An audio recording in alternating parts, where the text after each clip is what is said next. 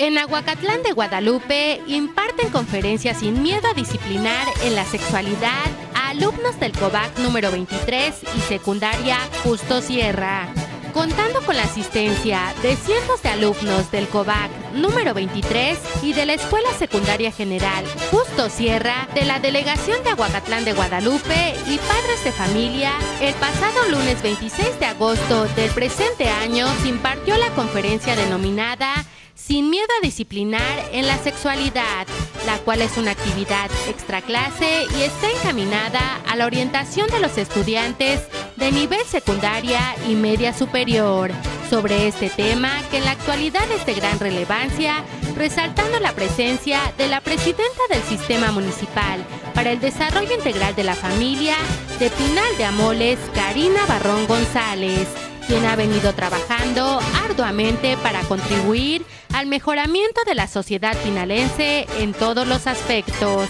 La psicóloga Blanca Margarita Espinosa Huitrón, quien es una persona con una amplia trayectoria, fue la encargada de impartir esta importante conferencia con el objetivo de concientizar a los jóvenes y padres de familia ya que la educación sexual no es un manual y en este sentido la ponente indicó la sexualidad es parte de nuestra vida y nuestro desarrollo e implica conocer cómo somos biológicamente. Se contó con una importante participación de la comunidad estudiantil de las dos instituciones participantes, así como de los padres de familia, de los alumnos quienes están pendientes de la educación de sus hijos quienes participaron en diversas actividades que se fueron desarrollando a lo largo de la conferencia con la finalidad de ir conociendo más sobre el tema de sexualidad.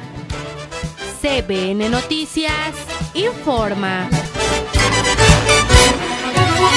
に?